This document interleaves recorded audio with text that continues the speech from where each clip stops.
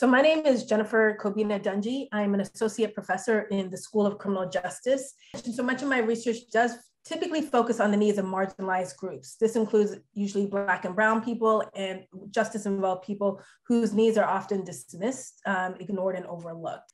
So I remember being a doctoral student to learning about the uh, various uh, systemic barriers uh, that people who are justice involved face, even after they pay their debt to society. And I just remember thinking, there's got to be a better way. So I would say what motivates me is really um, uh, trying to bring about awareness and how the system um, can make things quite difficult for marginalized individuals. And when we talk about justice involved people, their um, needs are often overlooked, um, dismissed, and ignored. And that's because you know they may have a felony record. They're you know they're impacted by the criminal uh, justice system, but we often fail to think about the ways in which the system makes it challenging for people to uh, go on with their lives, uh, particularly again after having served their time.